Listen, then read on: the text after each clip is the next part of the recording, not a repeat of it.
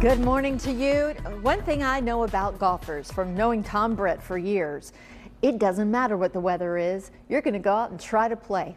And it doesn't matter if it's hot, you're going to try to do it anyway. So the outlook for the next several days for your golf games. Still looking pretty good for the next couple of days. Friday, we may have some showers or thunderstorms in the afternoon, so you'll want to dodge those. But stay cool, stay hydrated, and enjoy your tee times today. The earlier, the better, just to avoid the heat. Although I know you're going to still go out there. 70 degrees in High Point right now, 71 in Greensboro and 74 in Winston-Salem. Low 70s across Stokes and Rockingham counties right now. Upper 60s in Burlington, Siler City, and Asheboro. All the way down that Yadkin River. It's 68 in Yadkinville and 68 in Mocksville right now really pretty weather, clear skies. And it is going to be a beautiful day. It's just not going to be terribly comfortable to be outside because of the heat and humidity.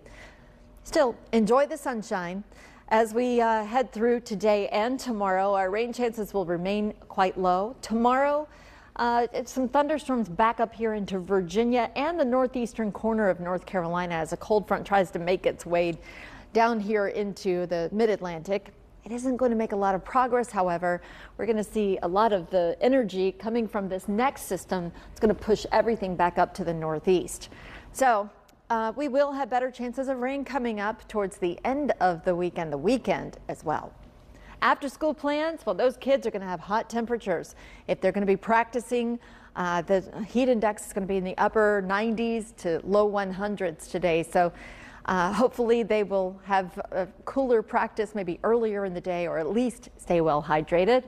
Fox 8 High School football frenzy this Friday is looking warm. 82 for kickoff and temperatures will be falling through the 70s during game time Friday night. And of course, you will catch all the highlights right here on Fox 8 after the Fox 8 10 o'clock news.